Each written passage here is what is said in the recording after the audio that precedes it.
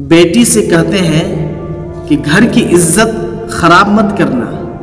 बेटों से क्यों नहीं कहते हो कि किसी की घर की इज़्ज़त के साथ मत खेलना? तो